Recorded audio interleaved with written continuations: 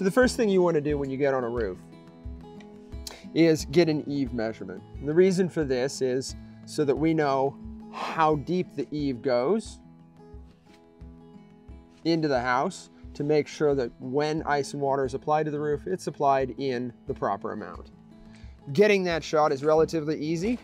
Get up to the eave height, get out your trusty tape measure, run it up underneath the edge, get your iPad in position, and take the shot.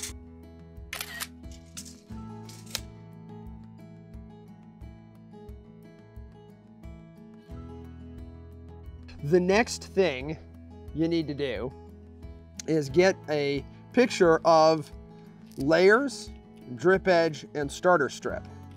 It's relatively simple. It's the very first run or row of shingles. You simply lift it and find out how many layers do you have and do you have actual starter strip or did they just cut a shingle backwards and apply it as starter strip, which it appears they did here. As you can see, you only have one layer of shingles here and then you drip edge. While you're here, you'll note that this particular rain gutter is installed correctly. It is just below the drip edge, not through the drip edge, but you'll want to look for that as well, as long as you're right here.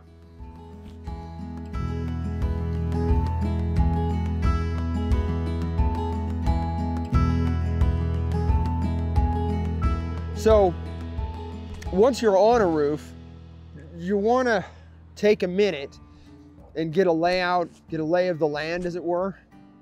The last thing you want to do when you're on a roof is be scattered.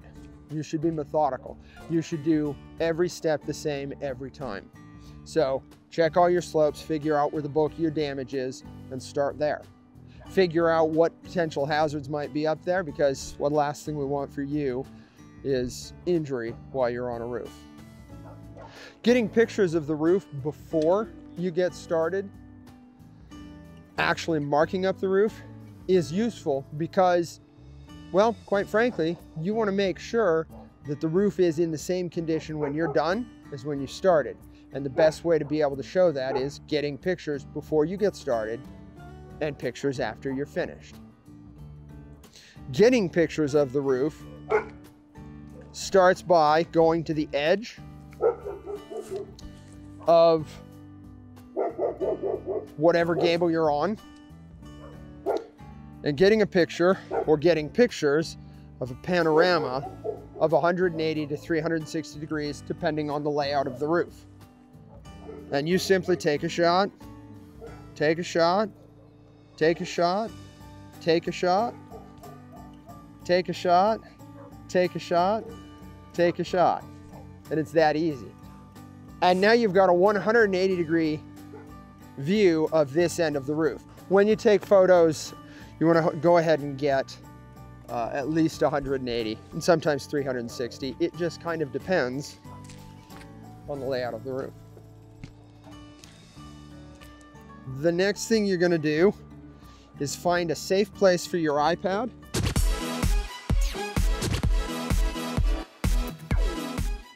And I would recommend you put it someplace shady. Right now we're working the middle of February, which isn't a big thing. But in July, it's gonna be, well, it's gonna be really hot up here. And if your iPad is out where the sun will get it, it will overheat and that's gonna slow down the process. So tuck it someplace where the shade is because you're not gonna need it for the next little while.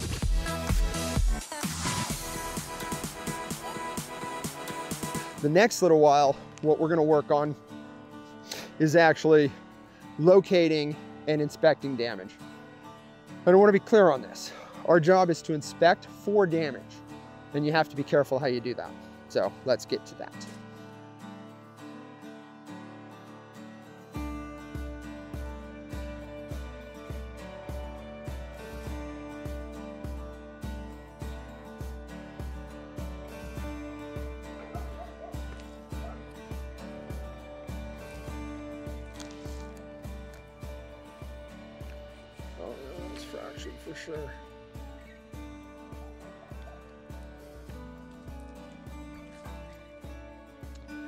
The first thing you want to look for is fractured or creased shingles.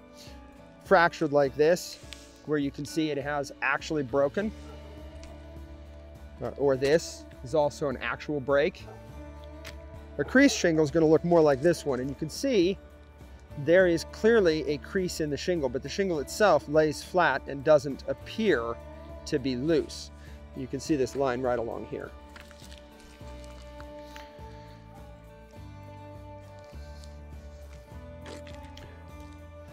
You'll make note of all the damage that is obvious. And then you'll start looking for slightly less obvious damage.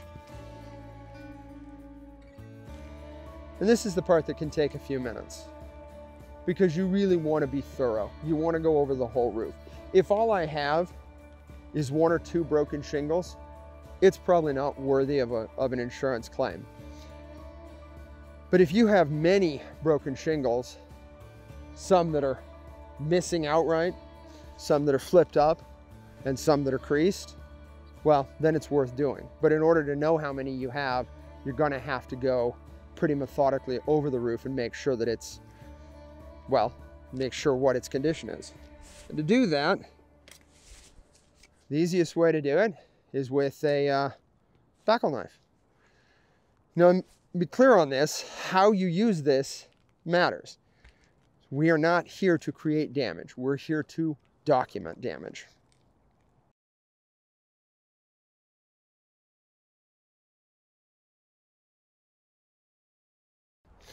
So what you're going to do when you're looking for damage is you're going to locate the seam between shingles. And that typically is going to be either wider than the other tabs or narrower than the other tabs. In this case, it is in fact wider. And over time, you're gonna get really good at spotting that. That's where you're gonna look because that's where you're gonna find zippering, which isn't wind damage, and pull-throughs, which is. And we'll go over this. The way to look for it is you take your knife and you get underneath the shingle. Now, you don't wanna yank up on it and break a seal. If you find that it is sealed down, leave it alone. The leftmost edge almost never is. So you just gingerly check. Is it loose? This shingle is completely loose. So when I lift it here, the whole thing lifts. That's not wind damage, by the way. Just to note that it is loose. And you work your way up the shingle, trying to find, is there any zippering or actual wind damage? And zippering would be this exact phenomenon. These shingles are all starting here. It is actually loose. But, and this is why it's not wind damage, the nail is still attaching the shingle to the roof. So this is just zippering. And over time, it's gonna be a problem because this is more susceptible to wind. It is not actual damage at this point. So you move on from this when you're looking, you're looking for actual, well, creases like this one right here. This shingle's actually fractured. So that's damaged shingle. And you'll want to make a note of that and mark it with a big fat X like this.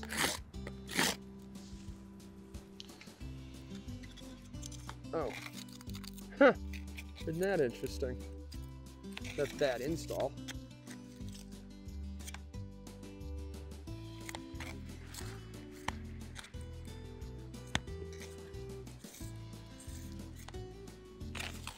There it is. All right.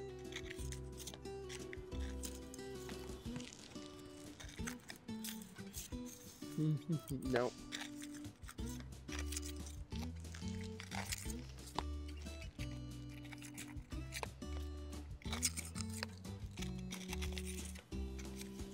And you'll note when I lift here, the whole shingle doesn't move. So I stop. Because if I lift the whole thing, I break this seal. It's not good for the roof. Versus this one, where it lifts freely.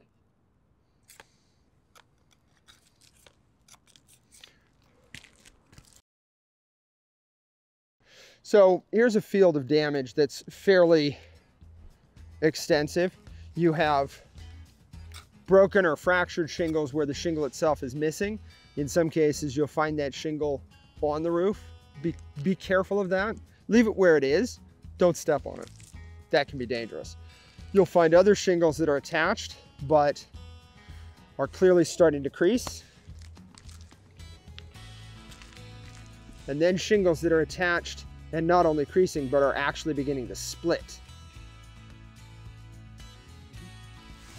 When you find a shingle like this that is beginning to now split, you'll want to mark it with an X. When you find missing or fractured shingles of any kind, if the shingle has fractured or it is been torn off, that gets an X. So what we have here are fractured shingles. We actually have several of them. Causes a fracture is the wind blows the shingle loose and then over time it works it back and forth, creates an ever-growing crease in the shingle until eventually that crease becomes a uh, split and the shingle tears off and then you have shingles missing. These shingles have obviously torn away, but you also have shingles like this one here. This is a fracture now. It's actually starting to split down here at the end. This one over time will work its way absolutely loose, but this shingle is fractured at this point. This one is now damaged. You mark all fractures with an X, whether the shingle is just breaking or is completely broken. You put a big X in it to denote that that shingle is failed. The idea is that every shingle that is fractured or missing should be both marked and photographed. This is how you document damage on a roof.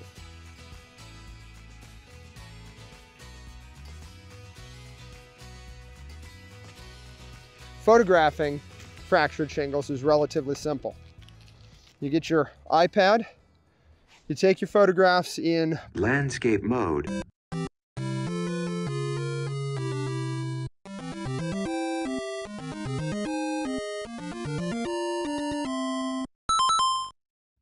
From about two feet away, you take a picture of each fractured shingle. So every X that you've put down, you get a photograph of. Then you can get up close to actually show where it's creasing. So lift the shingle a little bit, take a picture to show where that crease occurred, and let it down. In the case of one that's already broken off, you can get up close again. The idea is that every shingle that is fractured or missing should be both marked and photographed. This is how you document damage on a roof.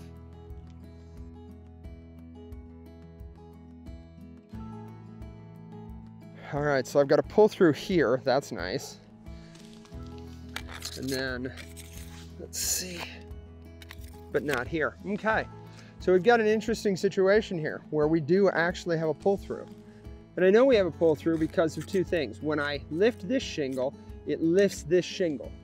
You wanna get closer? When I lift the corner of this shingle, it actually lifts this entire shingle, which tells me this shingle is no longer attached. So when I get down underneath and I just look, I can lift this and actually see that that nail is no longer uh, holding the shingle down, it has actually pulled through. This is the nail, and when you lift this, you can see right there.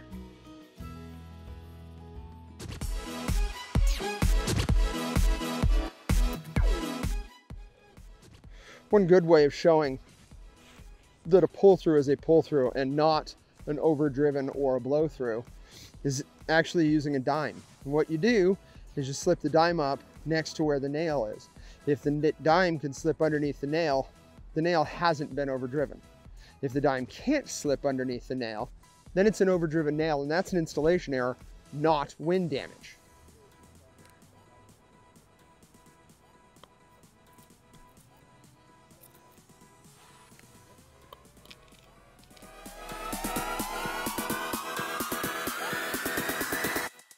And if you look underneath here, you can see that the actual nail is above the lower shingle. So it is not overdriven. This has actually been wind removed. The wind blew this shingle up and tore it off of its nail. This shingle is no longer fastened to the roof on this corner. This one gets a line through it, denoting damage of a pull-through variety. While we're right here, let me show you what is just zippering from that same angle. When I lift this shingle, you note the shingle above it does not move. And when I look from down below, that nail is still perfectly attaching this shingle. So this shingle is not wind damaged, but there is sort of a zipper effect happening here. So the only pull through that I found on this run is right here. In this case, the whole, both shingles move. In this case, only this shingle moves. And that is repeated up the line. So when we see a little bit of movement, let's take a look. I suspect this one is not, and I am correct. This one is also not a pull through, just the way things are laying. It wants to sort of lift it, but it's just a zipper and it needs to be left alone. This one isn't even loose. You note when I, it doesn't move at all, whereas this, the whole shingle lifts. So if you were to come across and put your putty knife here, stop. The shingle isn't giving. Do not drive your putty knife in there. Do not cause extra damage. That's not helpful. In fact, it could be considered vandalism. We don't do that.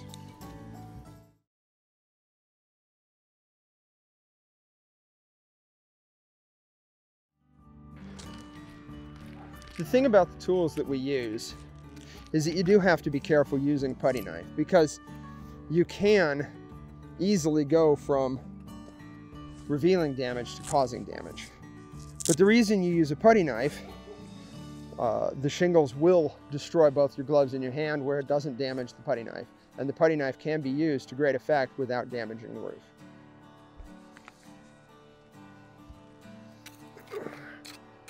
Nope.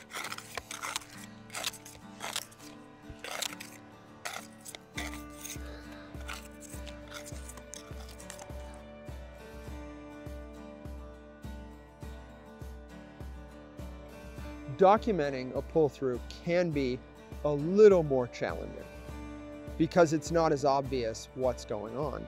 And you actually have to get up under the shingle in order to show what has happened. When you locate a pull through, you mark it with a line across the shingle. But to photograph it, you'd get a picture of that line And then you actually have to get down at the level of the pull through and you separate the shingle and you get up under there. So you have to get right down on the deck. And then you want a picture of that nail to show that it is no longer in the shingle.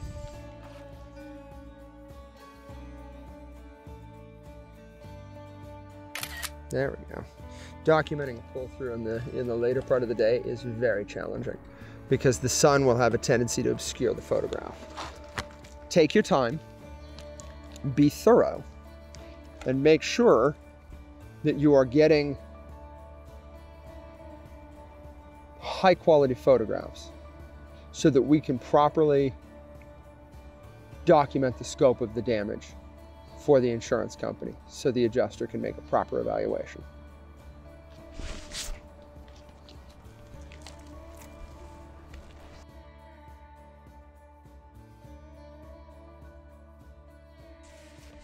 So this right here, you see these lines? Yeah.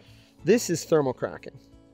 And the reason this is thermal cracking is because creases actually happen in the top like three quarters of an inch. I was gonna ask. See how this is all low? Yeah. Anything that's further down than three quarters of an inch is either mechanical damage or thermal cracking, one or the other, because wind will actually lift the shingle and fold it. Now this particular one, the, the wind is actually starting to crease it here, Yeah. but it hasn't creased the whole thing. So this isn't actually wind damaged Mm, actually, this one I would write write up as wind damage because that crease is fairly profound, Yeah. but not this down here. It's just that little piece. And what's the cause of the thermal?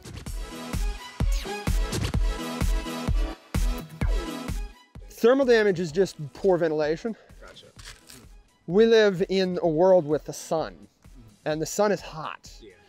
and the roof gets really, really hot in the summer, and it happens over, over just- years yeah. years. it just heats them up, Yeah. heats them up, heats them up, and eventually you get thermal cracking.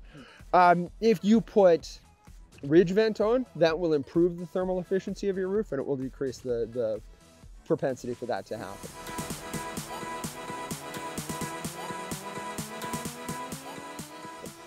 Um, some roofs in some climates, you're going to get it no matter what you do. Yeah. I mean, when you're down in Phoenix, Yeah, it's yeah, it's a Yeah. it's a bazillion damn degrees. Um, now, the other thing to note about thermal cracking though is thermal cracking isn't wind damage, but thermal cracking will make the shingles more susceptible To wind damage. So what you can have over time is this shingle is thermal cracked right now, but wind starts working and it, it starts worrying it, and eventually this becomes a full-on crease. And when it's actually creased, then it's actually fractured. Mm-hmm. Now it's wind damage. It started as thermal, now it's wind damage. Now what'll happen is your adjusters, not all of them, but some of them will argue, well, that's thermal cracking. And your answer is that was thermal cracking. Now it's a fracture. This, this is an example of where thermal cracking caused a failure in the shingle, by the way. And I know that because of two things. First of all, it's down more than three quarters of an inch. And second of all, you see how it's ragged? Mhm. An actual wind crease is almost, it's not a perfectly straight line, but it's almost perfectly straight. Hmm. And again, it's up here at the top. This is here because what happened is it thermal cracked and then the wind got it and tore it off. And so that's the telltale sign. So yeah, like this, this is all thermal cracking and degranulation. So anything, you said three quarters of the way. Pretty much about three quarters of an inch. Beyond that is almost always going to be thermal cracking or mechanical. Yeah. Because you could have something like somebody smashed it with an axe. Well, that's damage, but it's mechanical damage. You know, uh, and if they deliberately smashed it with an axe, that's vandalism, Yeah. which is a whole nother issue. and can be covered, but you have to prove it wasn't the homeowner. And that's a conversation I don't ever want to be a part of.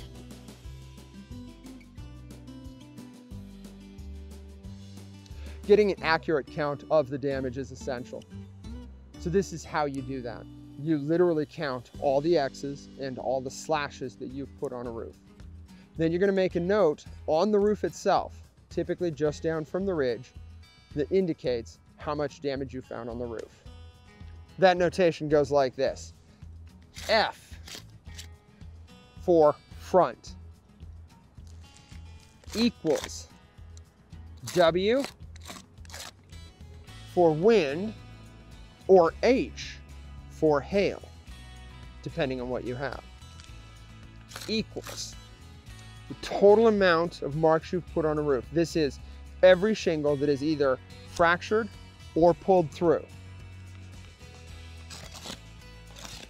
30. And then, in parentheses, it's going to be how many of those marks are X's. And these numbers are going to vary from each roof. So your final notation is going to say front equals wind equals 30 total damaged shingles, 15 of which are fractured or missing.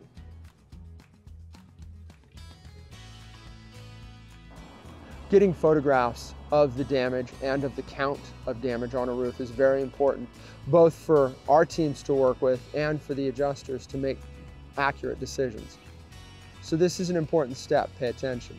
The first thing you want to do is go to your notation of damage. With your iPad in landscape mode, you will take a picture of the notation you made.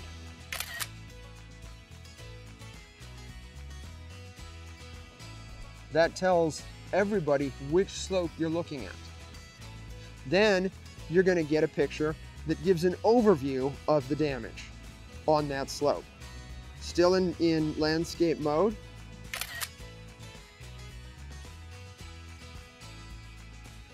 You really want your photograph to show the slope and the extent of the damage. Once that shot's done, then you'll take up close photographs of the damage on the roof. And you'll really want to go shingle by shingle to do this. When you're photographing shingle by shingle your damage, you'll take a shot from about two feet away. And where necessary, you'll get a very up close shot to show what is actually damaged. In this case, a fractured shingle that is severely creased but not yet missing. I'm going to do one more over here.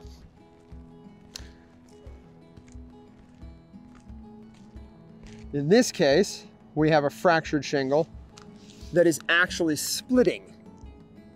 And you'll want a picture that shows.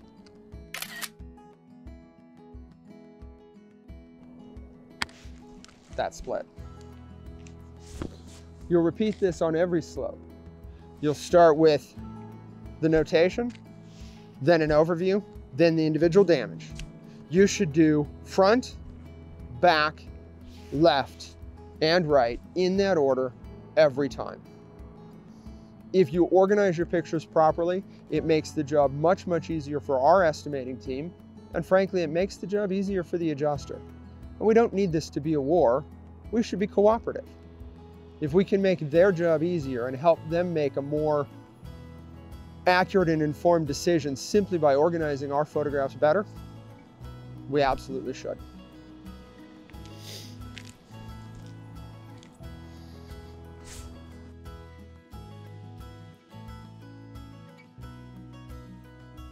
Every roof has accessories, so you have to get an accurate accessory count on every roof. What specifically exists on each roof is going to vary from roof to roof. This particular roof has turtle vents, pipe jacks. There's an exhaust for the furnace water heater, and there's satellite dishes. The way to note those is by counting each one and then putting a mark next to it. So in the case of turtle vents, I have one, two, three, four, five, six, seven turtle vents. So next to one of those turtle vents, I'm going to write seven. And now when I take the photograph, which I will take from about here, I have clearly a turtle vent and the amount of turtle vents in the frame. So at a glance, both me and my production team can tell how many turtle vents are on this roof. You'll do the same thing for all your accessories. Get to the accessory, count how many of those types there are, and then put a mark of how many there are. In this case, two pipe jacks, one exhaust vent, two um, satellite dishes.